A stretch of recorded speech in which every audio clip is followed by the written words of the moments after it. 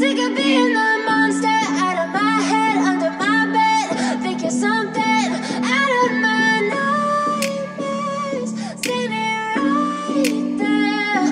But if I lay down and I play dead and I stay dead Then will you get both of killing me? Silhouettes if you were like a taunt Never really know just what you want With you I don't ever feel calm. I can feel the sweat inside my palms. Play with me like cats and a string. You don't understand the pain it brings. You don't ever wanna give me wings. You don't ever wanna set me free. You know I'm addicted to you And it's twisted, you've been gifted with the evil voodoo. Got me coming back for more, even when I've been screwed. Dolls full of pins, pierce my heart straight through got issues in my head.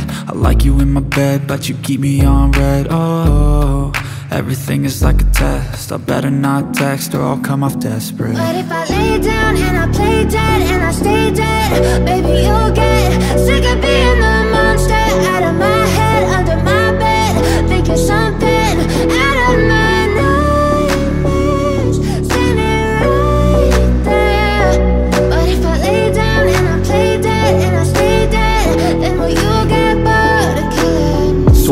Play dead, will you regret everything that you did, that you said? I don't think you understand what you're doing.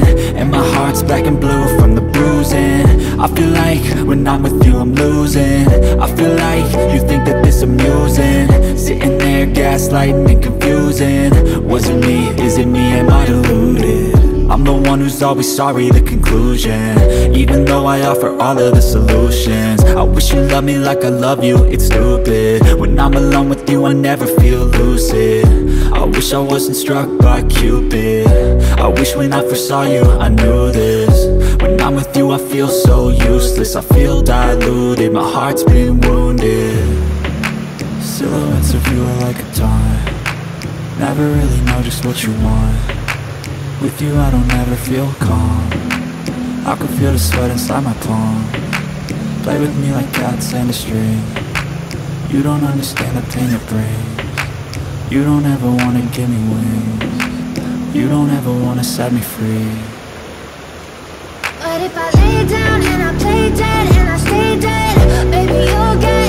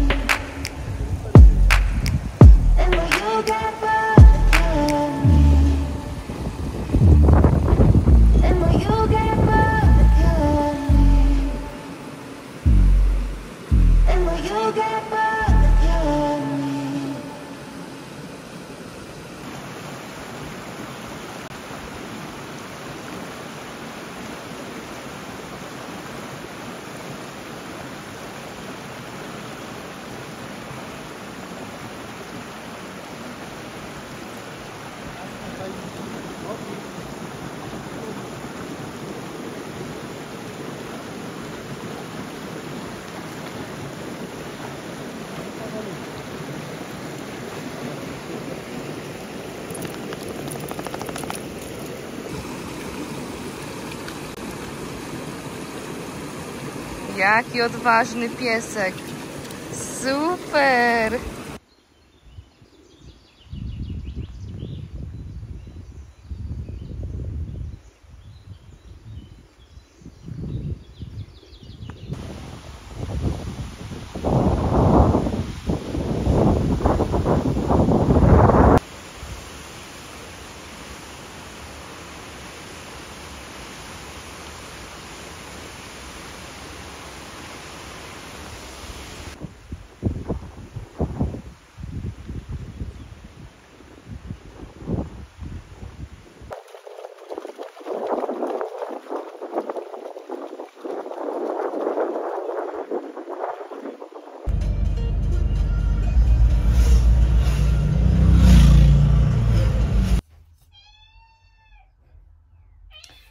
Tle słyszycie Morisa, ale dobra, generalnie, bo jest mało czasu, jak zawsze u mnie, więc zaczynajmy. Dzień dobry, kochani, w poniedziałek ja właśnie szykuję się do dietetyka. Tak, to dziś bardzo się stresuję tą wizytą. Jest to dla mnie poniekąd po jakimś tam dłuższym czasie nowość, bo oczywiście bywałam w takich miejscach, bywałam u dietetyków, ale to już było jakiś tam dłuższy czas temu i no stresuję się, nie powiem, że nie. No, ale dobra. Y, Więc no, tak jak Wam mówię, za każdym razem, że właściwie jak przychodzę, to ja nigdy nie, miałam, nie mam czasu, zawsze gdzieś biegnę, gdzieś się spieszę. No, tak to wygląda. Więc generalnie tak, y, przyszłam, pogadamy sobie chwileczkę, ja się w tym czasie pomaluję. Mam tutaj taką wodę, nie wiem jak to się nazywa dokładnie, ale y, taka woda odświeżająca powiedzmy, no bo ona fajnie tak działa właśnie, odświeżająco. Mam też oczywiście y, mój, moje serum z B-Beauty z makuchiolem i Moriska, który tam tak sobie gada bardzo. nie wiem, nie wiem, nie wiem, o, nie wiem co chce, o co, o co mu biega, ale generalnie na pewno pamiętacie, a jeżeli nie pamiętacie, to niestety ileś lat temu, nie wiem, nagrywałam już wtedy na YouTubie już tutaj mieszkałam, no tak, no już był Morris i w ogóle. Niestety, ale wychodząc chyba do pracy albo gdzieś, gdziekolwiek, nie wiem, gdzieś wtedy wychodziłam na no dość długo, nie zauważyłam Morisa, który siedział pod wanną w łazience i go zamknęłam w łazience. I on ten cały dzień wtedy był w tej łazience i próbował się wydostać drzwiami. Więc zrobił sobie otwory w drzwiach, tylko że niestety albo stety nie, nie wydrapał do przejścia, żeby wiecie, żeby wyjść, wydostać się.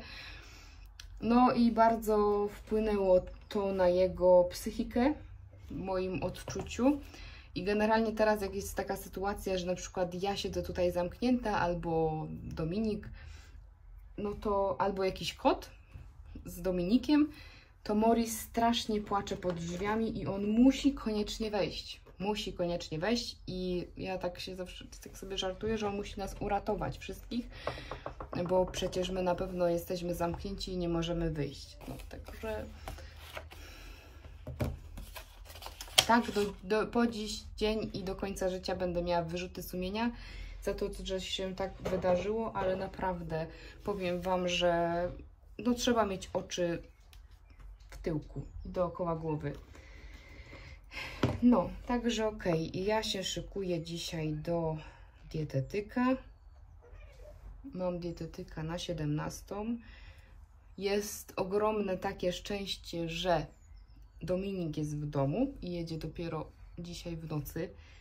Więc po prostu rewelacja. Tym bardziej, że po tych wszystkich takich upałach przyszły ogromne burze, opady deszczu i powiem Wam, od wczoraj pada mocno. Teraz akurat jest taka przerwa, ale generalnie no słabo to wygląda.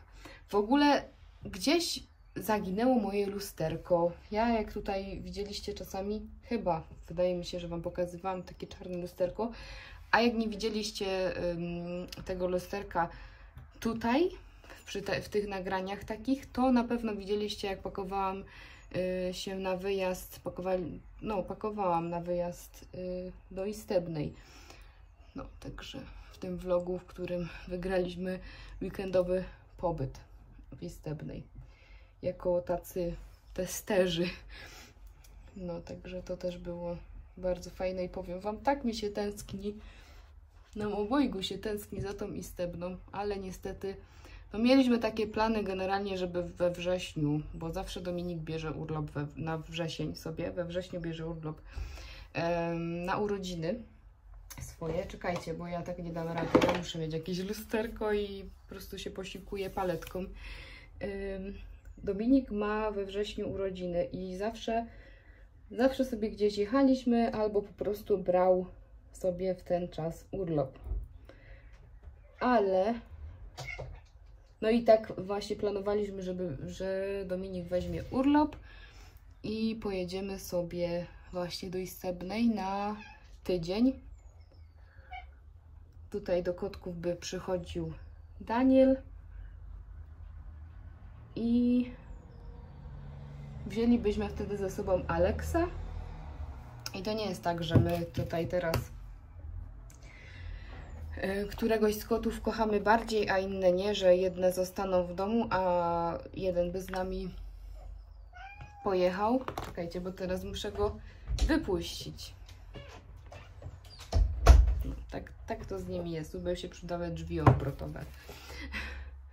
No, to nie jest tak. Yy, My po prostu, w sensie po prostu Alex ma te problemy yy, z pęcherzem, które są spowodowane stresem. Stresem, że nie ma Dominika. Yy, No i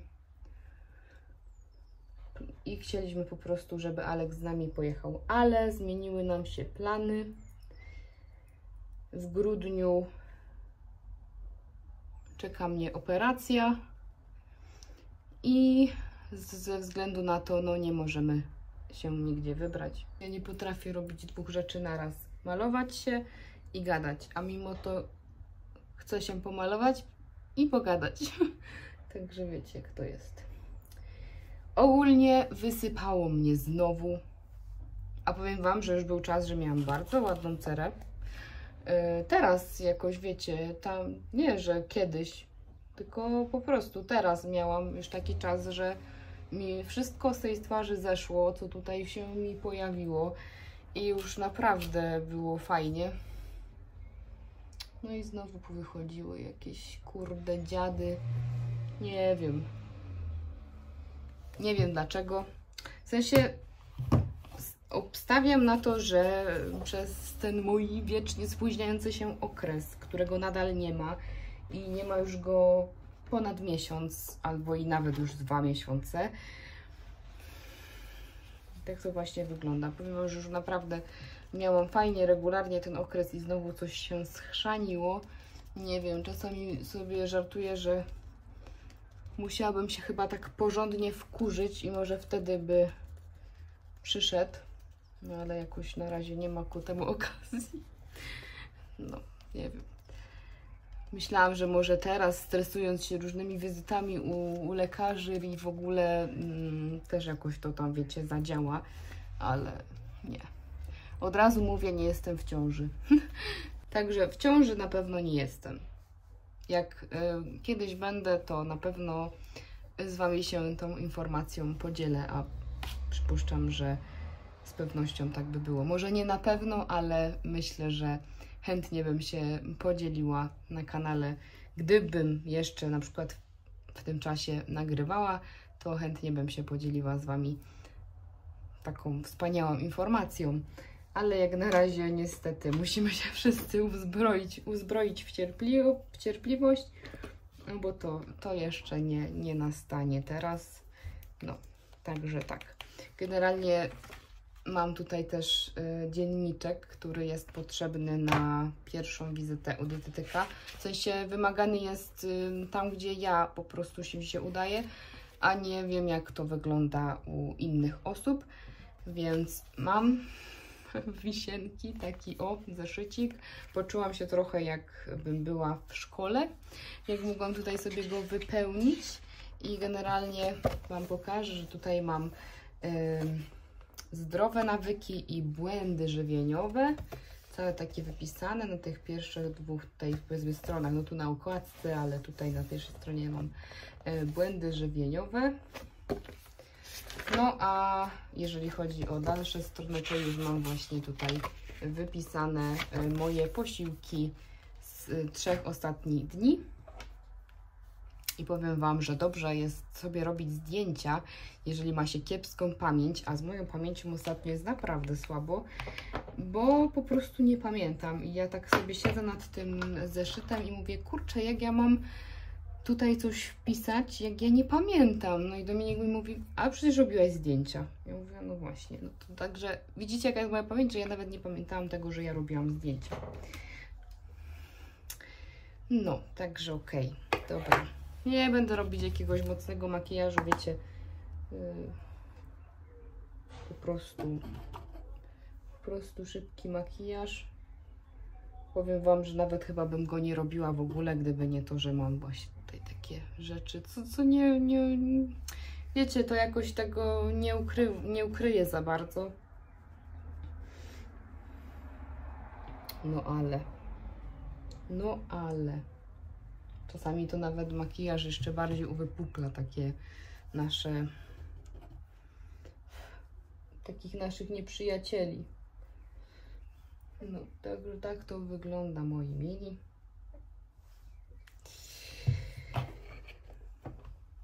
Ok, mamy bronzer. Dobra, mamy bronzer. Wczoraj byliśmy na spacerze Wy? Wczoraj byliśmy na spacerze, taki wycieczko spacerze w Porąbce. Powiem Wam, że to jest nasze ulubione miejsce i z Dominikiem też już y, kilkukrotnie byliśmy. Kiedyś Wam nagrywałam też, że byliśmy na Górze Żar, więc to są generalnie wszystkie te okolice, takie wiecie, między Brodzie, Żywieckie i tak dalej, i tak dalej. Y, No, więc byliśmy sobie pochodzić, pospacerować, wszystko tutaj macie nagrane. Nie będę zagłuszać tego muzyką. Możecie sobie, je, jeżeli nie wiecie o co chodzi, to chodzi o ostatni komentarz pod y, poprzednim filmem, gdzie zagłuszyłam muzyką dźwięki natury, które byłyby przyjemne dla ucha, ale no nie są, bo są zagłuszone komercyjną muzyką. I generalnie zastanawiam się tylko nad tym, jak miałabym, y, jakie miałabym dźwięki natury y, tam wstawić, jeżeli nagrywałam z samochodu. Bo jakby w samochodzie mamy też włączoną muzykę i wiecie, rozmawiamy ze sobą razem z Dominikiem i niekoniecznie o rzeczach, które tutaj y, by, by miały być jakby, wiecie, puszczone, no wiecie, takie gadka o, o swoich tam prywatnych sprawach, tak? E, mniej lub więcej ważnych, no, generalnie. Ale no tak, no. Więc y, jeżeli teraz nie wiecie, zastanawiacie się o co mi chodzi, o co mi biega, to wejdźcie sobie proszę pod ostatni film na kanale dodany. Ten poprzedni film po prostu przed tym i tam będzie komentarz od jednej osoby. I sobie przeczytajcie i będziecie wiedzieć o co chodzi teraz w tym momencie. No także może ta osoba jeszcze się zreflektuje i tutaj też nam e, wyjaśni o co jej dokładnie chodziło, bo najwyraźniej jestem yy, głupia i, i się nie domyśliłam, aczkolwiek yy, dodam Wam tutaj właśnie z tej okazji i na życzenie tamtej osoby film, w sensie te przebitki, w których będziecie mieć odgłosy natury, a nie komercyjną muzykę. No, tak, tak. No, e, więc okej, okay. co by tu dalej e, zrobić? No, trzeba będzie pomalować rzęsy. A to już za kamerą. A generalnie chciałabym jeszcze pokazać, przypomnieć, że ja bardzo lubię yy, tą bazę pod tusz. I jeżeli y, chcecie sobie troszeczkę wydłużyć rzęsy, bo macie, nie wiem, krótsze, albo nawet jak macie długie rzęsiurki i chcecie sobie po prostu, wiecie, tak wydłużyć, żeby one były jeszcze takie większe, fajniejsze, albo macie króciutkie, to naprawdę polecam Wam taką bazę, bo daje radę.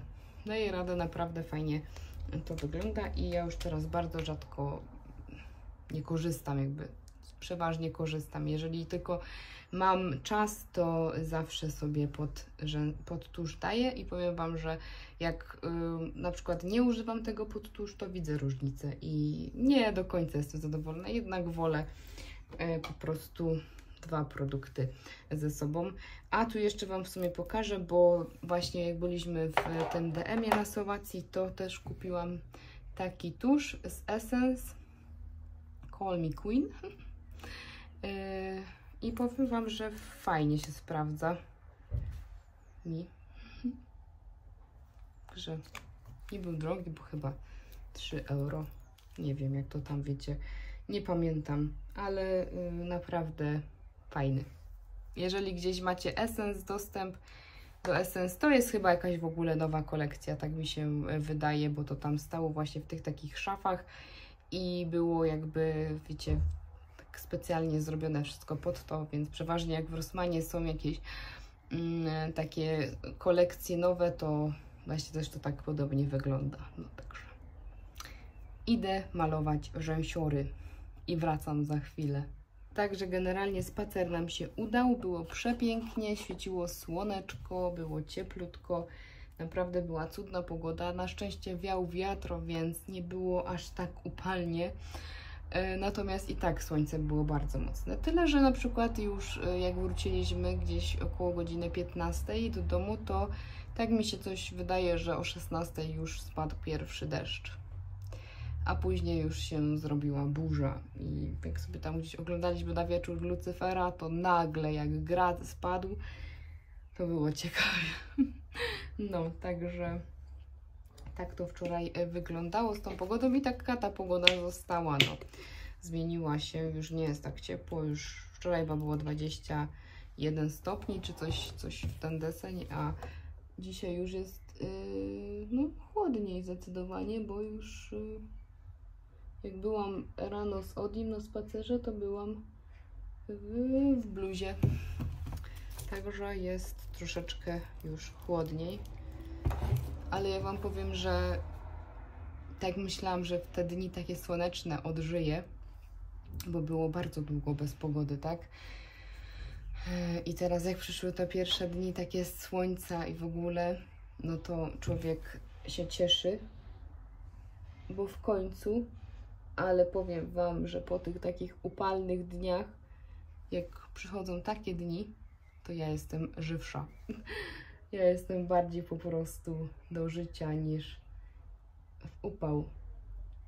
Ja jak najbardziej aprobuję ten upał, ale tylko i wyłącznie ze względu na roślinki. Niech one mają to słońce, no jakoś, jakoś muszę to przetrwać. Z ich względu super, że świeci słońce, ale patrząc na mnie, to, to nie. To nie super. Ja nie. Jak na razie to ja się na lato nie nadaję.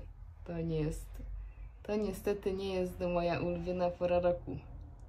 A jeżeli chodzi o wiosnę, to ja lubię wiosnę, ale taką właśnie jeszcze taką delikatną. Świeci słoneczko, wszystko kwitnie, yy, ale nie jest jeszcze gorąco, tylko jest tak, wiecie, tak, tak okej, nie? Tak w sam raz.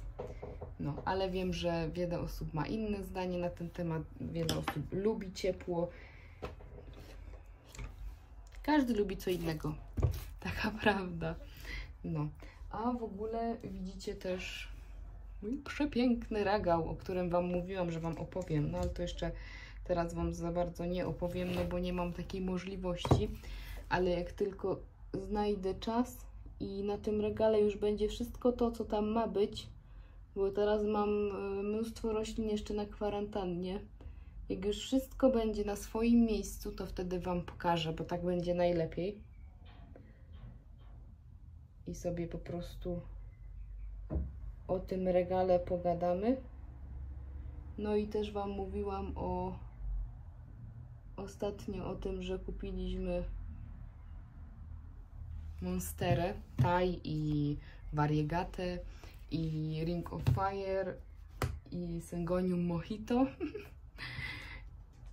Te, więc też Wam będę je musiała pokazać. Ja Wam co prawda pokazałam, tutaj widzieliście je na filmie. Będziecie je widzieć tutaj we vlogu, y, jako w przebitkach. Wam je nagrałam, ale jeszcze na pewno y, Wam je tutaj pokażę, y, tak wiecie, bardziej z bliska, żebyście się poznali ze sobą. No, bo i widzowie, i wy, wy widzowie, jesteście dla mnie równie ważni jak właśnie ten mój świat tutaj za plecami. Ale generalnie, spójrzcie, zrobiłam postępy, bo powiedzmy, że nie ma ubrań na ym, Orbitreku. No, Oprócz tych kilku, które się teraz pojawiły, ale generalnie ich nie ma. Jak Dominika nie ma w domu, to tych ubrań też tutaj nie ma. No więc są jakieś postępy, bo to ogólnie za mną tutaj to, to nie jest wieszak. To nie jest wieszak, żebyście byli świadomi. Nie wiem, czy ja Wam o tym tutaj y, mówiłam. Wydaje mi się, że mówiłam, ale albo nie dodałam tego materiału, albo nie wiem, albo dodałam i po prostu będę się teraz powtarzać. Jeżeli się powtarzam, to sobie przewincie i nie słuchajcie tego drugi raz. Y, Nie będę marnować Waszego czasu, aczkolwiek jeżeli nie słyszeliście tych, y, tej opowieści, to tej historii, to Wam teraz opowiem na szybko, że to jest orbitrek, który już stoi sobie i pra pracuje, pracuje jako wieszak od dwóch albo i trzech lat nawet. No, także już ma chłopak staż, nie? Y, no, i generalnie, no tak, no, te ubrania sobie Dominik tutaj na nim kładzie, no bo jak z niego nie korzystałam już długo, yy, więc po prostu uznał, że w sumie można sobie na nim powiesić ubrania, żeby na nich sierści nie było. Więc tak one tutaj sobie leżały zawsze. Już co prawda miałam ten Orbitrek jakieś kilka miesięcy temu sprzedać. Miałam nawet osobę chętną do zakupu i to taką bardzo chętną, która by tak powiem, że od razu wzięłaby go i nawet za taką cenę, jak ja chciałam za niego dostać.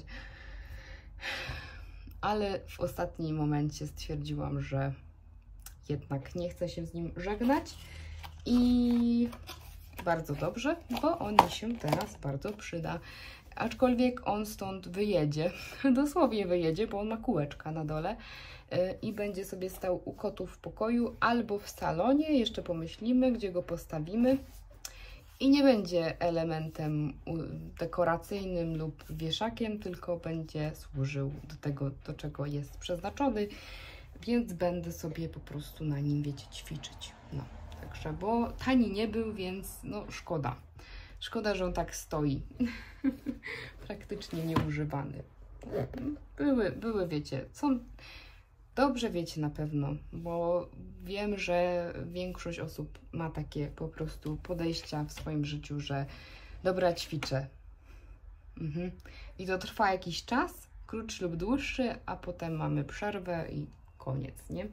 Jeszcze u mnie jest przeważnie tak, że jak ja się zabieram za ćwiczenia na nim, albo ogólnie jak się do czegokolwiek zabierałam, zawsze do jakichś ćwiczeń, y, to zawsze sobie coś zrobiłam. Albo sobie skręciłam kostkę, albo gdzieś się uderzyłam i zawsze mnie coś bolało. No, to tak wiecie. Czasami nam specjalnie los rzuca takie kłody pod nogi i nas testuje chyba, żeby sprawdzić, czy pójdziesz się położysz, bo cię nóżka boli, czy a może jednak pokażesz, że wiesz, że nie z tobą, że nie, nie da rady. No, ale przeważnie wiecie, jak się kończyło. No, także. No, także generalnie okej. Ja się zbieram teraz, bo już na pewno jest mało czasu. Wierzę w to. Że jest bardzo mało czasu. Także dobra, ja uciekam. E, Lecimy do dietetyka i odezwę się po prostu jeszcze dziś albo jutro. Bo. Także pa. Odzywam się już do Was znacznie później, co w sumie nie ciężko zauważyć. No bo jednak zrobiło się ciemno. Jest godzina, no jakoś po 22, być może już 23. Nie jest jeszcze aż tak późno. Natomiast raczej e, w ostatnim czasie nie chodziłam z Odim tak późno e, na spacer, ale dzisiaj ma jakiś problem i nie chce nam zrobić dwójki. Był e, na pierwszym spacerze zrobił, ale na dwóch następnych już nie. Także trzeba obserwować. U Odiego akurat jest na odwrót przeważnie, bo on to zawsze ma problemy takie, że trzeba co chwilę z nim biegać na ten dwór, biegunki, te sprawy. Generalnie mamy to pod y, kontrolą weterynarza, ale każde takie odstępstwo od naturalnych zachowań, które powinny być, no, tworzy taki niepokój. Więc na pewno, jeżeli to się będzie utrzymywać, to zasięgniemy porady weterynarza. E, Teraz mnie może tak być widać, nie widać, ale już stwierdziłam, że w sumie jak wyszłam i to jest taka idealna pora, bo teraz tak naprawdę mało prawdopodobność jest, żeby ktokolwiek był tutaj i wiecie, też spacerował o tej porze. Wiadomo, są tacy, są tacy, ale no akurat nie widzę jak na razie. Ja to jestem w ogóle w koszuli z piżamy, wiecie? Czekajcie, ja wam... No, ja chciałam pokazać, ale nie da rady tak odpiąć teraz tego yy, swetra. No kurczę, powiem wam, że się... Ale o, także tak. Jestem w koszuli od piżamy i ten, kto ma psa, to myślę, że chociaż raz w życiu wyszedł w piżamie na dwór. No taka nieodzewna część życia z psiakiem, że zawsze różne nas mogą spotkać przygody. Zwłaszcza właśnie jak trzeba biec na przykład z psem, ma biegunkę, nie? Na dwór. No to jeżeli was obudzi w środku nocy, to raczej nie będziecie zakładać wtedy ubrań. No, więc póki można ubrać na siebie jakiś sweter, jakiś kardigan, to jak najbardziej obowiązuje dowolność zupełna pod, pod tym sweterkiem. No, ale w sumie y, o czym ja miałam powiedzieć? Ja miałam powiedzieć o tym, że wizyta u dietetyka się udała. Wszystko potoczyło się fajnie, sprawnie. Dowiedziałam się tego, co potrzebowałam, tak naprawdę, żeby y, też zmienić. y, znaczy, jakby dowiedziałam się, co robię też źle i dowiedziałam się, co muszę poprawić, ale nie tylko ze względów takich mm, tych błędów żywie- żywieniowych, tylko też na przykład ja zaniżałam porcje i proporcje. Y, No bo nie wiedziałam. Nie wiedziałam. Myślałam, że wiecie za dużo. Okazało się, że za mało. Więc to spotkanie też mnie tak, wiecie, naprowadziło i pomogło, wyjaśniło e, takie moje niepewności. No, także jestem bardzo zadowolona. Zobaczymy, jak to wszystko e, będzie się dalej toczyć. I na ten moment już na wadze pokazało się kilogram mniej od mojej takiej wstępnej wagi. A więc no, ja zaczęłam tydzień temu e, dietę, w sensie zmianę nawyków żywieniowych. Uznaj, powiedzmy to tak, że to nie jest stricte dieta, tylko to jest nauka zmiany e, zasad żywieniowych, nawyków żywieniowych. I no i od tego tygodnia schudłam 1 kg. Więc pani powiedziała, że generalnie od pół kilograma do 2 kg na tydzień jest super, e, więc jestem zadowolona. Mieszczę się w tym przedziale. No. Także idziemy ku lepszemu. Jeszcze na powrocie weszliśmy do Xiaomi i kupiliśmy wagę, bo muszę się co tydzień ważyć. I pokażę Wam ją, ale to już y, nie dziś, bo dzisiaj już jest za późno i ja tylko, wiecie, wrócę z Odim, kładę się do łóżka, Dominik już, e, wiecie, przygotowany w trasę, jeszcze teraz sobie śpi. E, właściwie za niedługo pewnie będzie wstawać.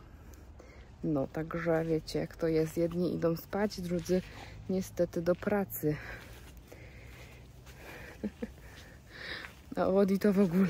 Zwierzęta to mają high life, nie? Nie powiecie mi, że nie mają. Mają. No, także co, kochani, tyle na dziś. Chyba nic więcej tutaj do powiedzenia nie mam. Nic mi jak na razie do głowy nie przychodzi. Także, aha, wiecie co, w ogóle, no czekajcie, bo mnie tu jakaś gałąź zaatakowała.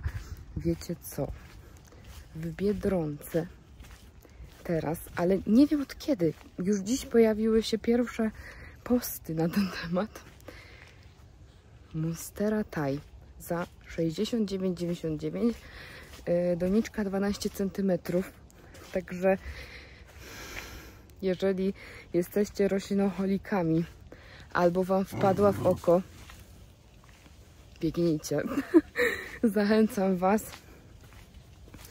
e, do, no, do rozejrzenia się, czy czasem u Was w sklepie nie ma jej, bo naprawdę.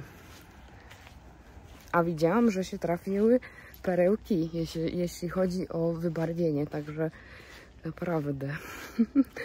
ja mam, ale nie ukrywam, że po prostu gdzieś poniekąd yy, zawsze sobie z Wiktorem żartowaliśmy i też marzyliśmy o tym, żeby w Biedronce pojawiła się Monstera Variegata.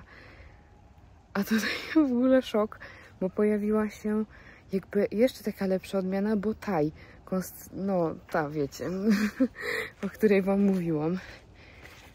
No, także po prostu wow. No, w głowie się nie mieści. I dla samego takiego zobaczenia na żywo, że Monstera Thai jest w Biedronce. To jest naprawdę, wiecie, takie e, dziwne, bo to jest roślina kolekcjonerska. Mm. Naprawdę to jest dziwne, niesamowite wręcz. E, Jest w więc to trzeba zobaczyć na własne oczy, więc e, choćbym miała nawet nie kupić, ale tylko popatrzeć, to to muszę. No, także kochani, ja się z Wami żegnam. E, Życzę Wam udanej nocy lub e, wspaniałego dnia. I tak, buziaki, pa pa!